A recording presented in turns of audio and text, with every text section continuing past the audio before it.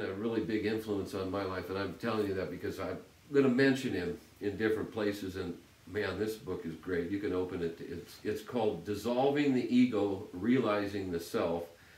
Contemplations from the teachings of David R. Hawkins, uh, Dr.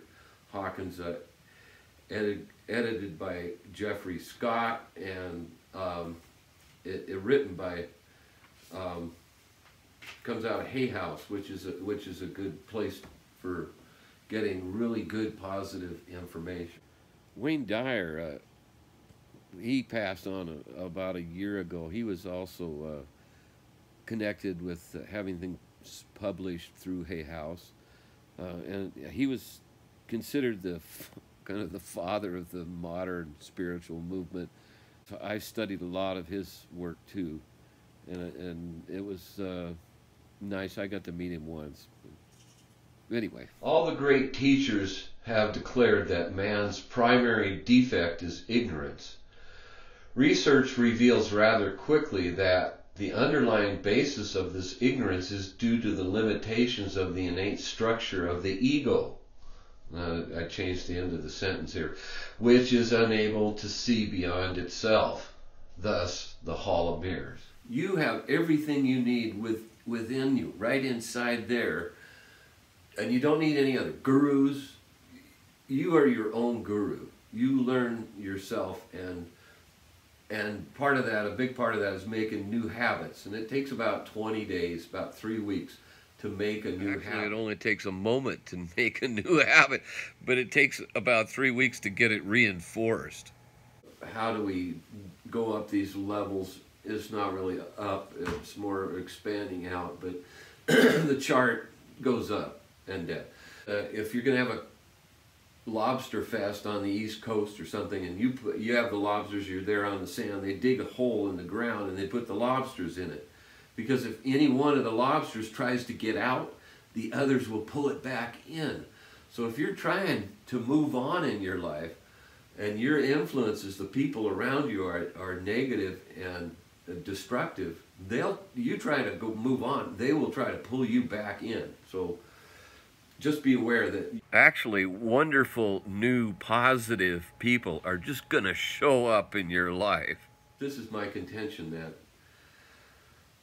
we can become a lot more than we know.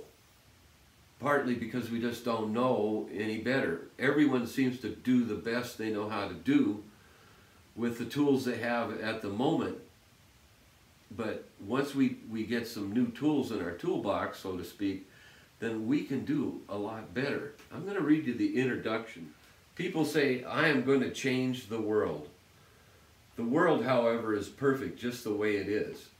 I can see how we can make the world poorer through pollution and mismanagement of natural resources, but what we really need to do is to change ourselves. This book speaks to a place inside all of us that continually searches for better ways to negotiate through our mutual time and space. Art is an essential framework for life. It allows for creation, appreciation of nature and the processes we use to navigate and reach for deeper understanding of our immediate environment. Now, our immediate environment, uh, for me right now, it's this wall over here. There's this painting behind me that took me a month to paint. It did, it actually did. It's 11 and a half feet. I'll maybe show it on the film. Anyway, that's my immediate environment. Lines are spiritual. Letters are made up of lines. Each letter is made to represent a symbol. Every symbol has meaning. I is for a man standing upright. O is for the infinite. Uh, C is an O cut off. So you get words like constitution, confusion, control, collusion. Okay. B is, is for uh, beginnings. So we got words like birth, baby, breasts. E is electrifying, elegant, and elemental. To define a word, look at each letter and you will find a way to understand new meanings in what you see. One can always look up a definition of a word, then look up each word in the definition.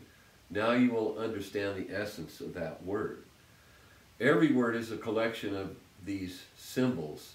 Each sentence embodies an idea. A group of sentences expresses a topic and every paragraph builds the structure of the page.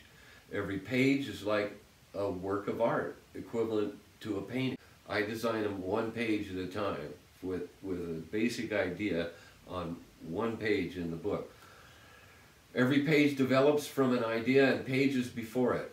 They are all individual themes that build a new paradigm or worldview and can be read several times for new understanding. I design each page with the same care I put into a painting. So this is the end of the second part of the introduction. If you like what you see, you can put the thumbs up down here and subscribe if you want to follow it closely, and we'll see you in the next section.